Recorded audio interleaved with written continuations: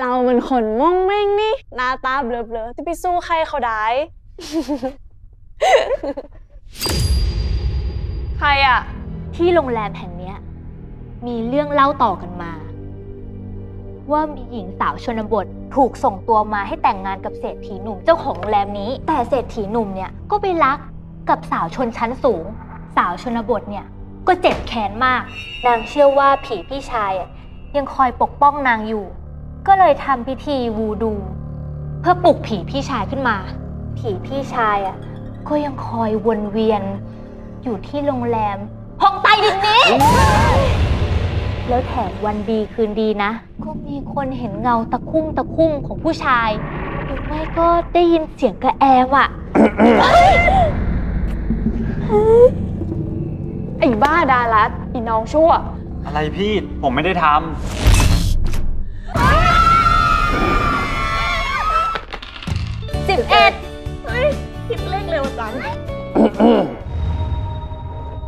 เดี๋ยวนะ มีใครได้ยินเสียงเหมือนที่เราได้ยินบ้างอะได้ยิน ชัดเลย กระเป๋าตั้งชีวาหายไปไหนอะเฮ้ย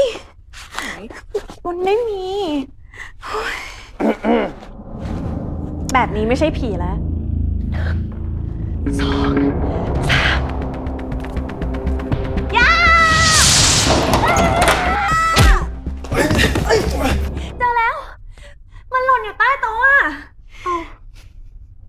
โมย เอ้าไปไหนแล้วอะไวจัด ใครอะคนไทยด้วย ค่ะ ขอเข้าสู่การแสดงชุดถัดไปเลยนะคะ อย่างชีวันจับำหัว อ่าอันนี้ไหล่อ่าตูด อีกทีนะคะ ช้าหัวครับ ไหล่ครับ ตูดครับๆอะพอได้ใช่ไหมคะ เออก็ไม่เท่าไหร่อะครับ หัว ไหล่ตูด หัวไหล่ตูด หัวไหล่ตูด หัวไหล่ตูด หัวไหล่หัวตูดจับก้นผู้ชายเนี่ยนะ ขอจบการแสดงเพียงเท่านี้ค่ะเอาแล้วกลัวขอบคุณคุณมดมากเลยนะคะ เชิญค่ะ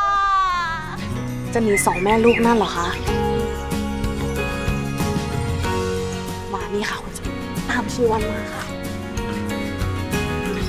มีทางออกด้วยเหรอ มีสิคะ นี่ไง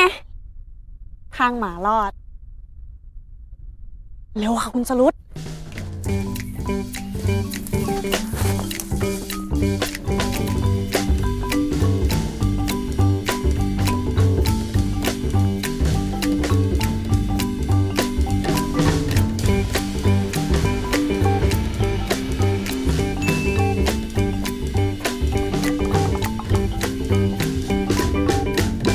โห จริงสินะ ที่เขาบอกว่าเป็นเจ้าชาย ไม่ใช่หมา แล้วใครล่ะหมา ก็เรานี่ไง จะใครล่ะ